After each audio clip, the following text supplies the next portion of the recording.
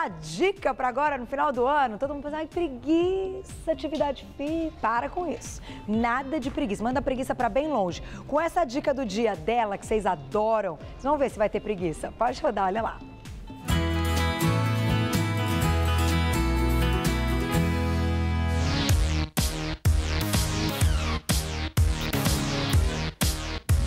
Olá pessoal do Você Bonita, hoje a dica é para você que sofre com dores na coluna, né? Infelizmente nós sabemos que 80% da população sofre com essas dores desconfortáveis e muitas vezes isso acaba fazendo com que a gente perca a motivação de fazer exercício e até mesmo prejudica a nossa vida diária, né?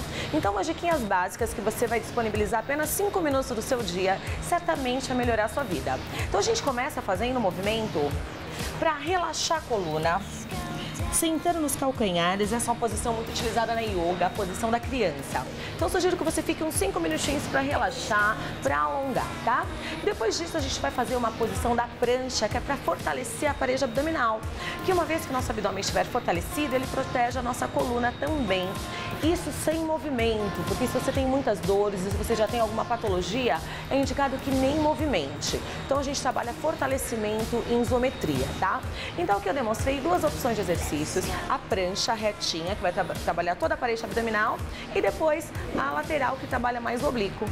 Finalizando essa série, a gente vai alongar a coluna fazendo a flexão lateral para os dois lados e finaliza com a torção, conforme vocês podem visualizar. Então faça isso dia sim, dia não e com certeza vai melhorar esse seu desconforto. Beijos e até a próxima dica. Tchau, tchau.